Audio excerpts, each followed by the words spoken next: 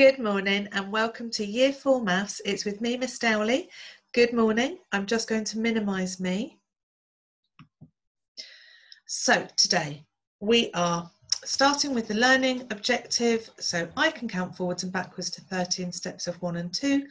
I can count accurately.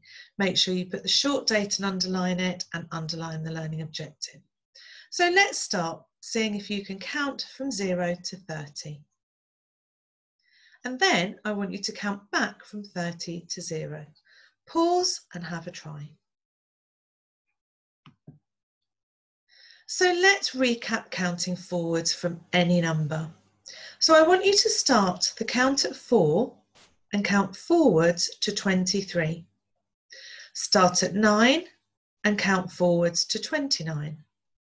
Start at 16 and count forwards to 27. Start at 2 and count forwards to 21. Start at 7 and count forwards to 15. Start at 19 and count forwards to 30. Pause this video whilst you have a try. How did you get on? So let's have a try counting backwards now.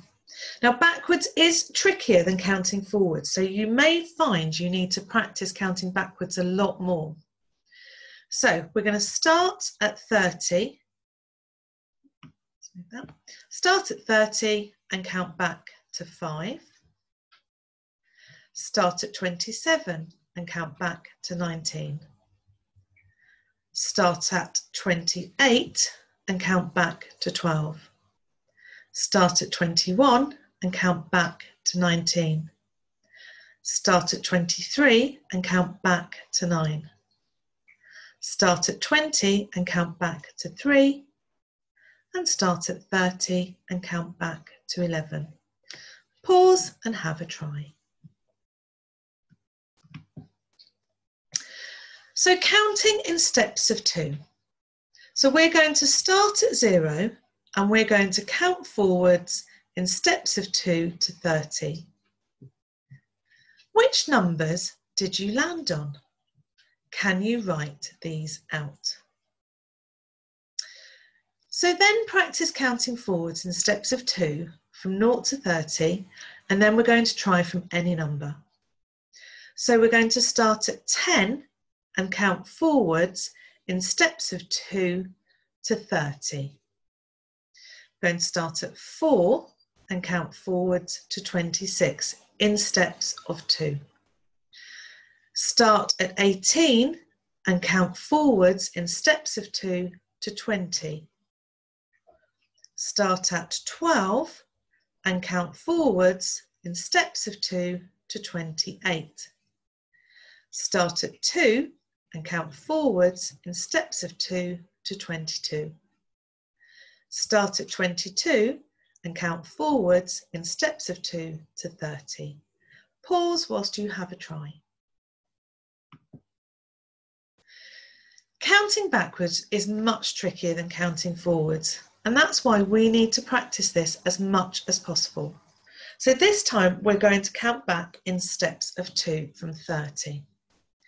So, which numbers did you say? Can you write these down? pause this whilst you have a try. So we're going to start at 30 and count back in steps of 2 to 10. We're going to start at 28 and count back in steps of 2 to 2. We're going to start at 22 and count back in steps of 2 to 12. We're going to start at 30 and count back in steps of 2 to 6. We're going to start at 24 and count back in steps of 2 to 2.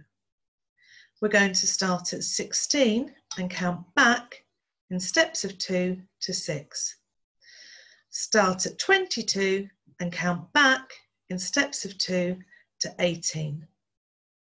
If there are any that you find tricky, please keep practicing these.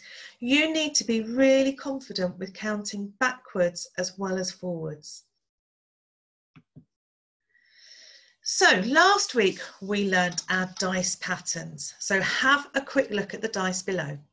Can you remember quickly how many are on each one? Have a quick look now. Last week we practiced counting accurately when we cannot move the objects. Finding a place to start on one side and working your way over will help. So let's look at how I counted this one. Try pointing to each dot as you follow my counting.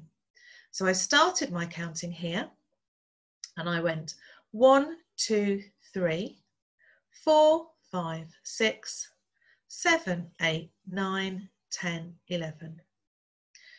It is easy to get muddled when you're counting. So finding a good starting point and moving from one side to the other will always help. So can you try counting each of these dominoes as carefully as you can? Pause and have a try. How did you do? So five, six, seven, eight, nine, eight. So let's try some larger numbers. Count how many burgers there are. Pause this whilst you have a go. Let's see how you got on. How did you count them? Was it similar to how I've done it below? Now you may have chosen to go a different way. You might have gone down like this. I chose to go this way. One, two, three, four, five, six, seven, eight, nine, 10, 11, 12, 13, 14, 15, 16. So there were 16 burgers. Can you try counting these objects? Again, remember, find a good place to start and work your way along. Pause and have a try. So here are the answers. So there were 13, 11, 9, 15, 20 and 12. Did you get them right? So this is a game for you to make at home. Now, you can play it with a couple of players. You will need some paper and some pens, and you will need to draw the dice patterns onto six pieces of paper. Um, then what you will need to do is have a dice. You put the cards randomly face up in the middle of the floor or the table. Each player takes a turn to roll the dice and takes the pattern card that matches the number thrown. So if you throw a four, you would find the four pattern card in the middle and you put that in front of you. And then the other player has a go. And each player takes turn collecting the cards. So when you throw the dice, if you threw a three, you'd collect a three and the cards should be placed in sequence in front of each player. So that means you should put them in order. So starting with number one and working your way through to the highest. If a thrower, uh, sorry, if a player throws a number they already have, they must miss a turn. The winner is the first person to get a sequence of four cards. Have fun playing this. Thank you.